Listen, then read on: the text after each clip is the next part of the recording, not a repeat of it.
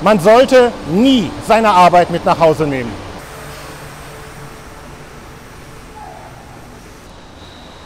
Außer man arbeitet in einer Brauerei.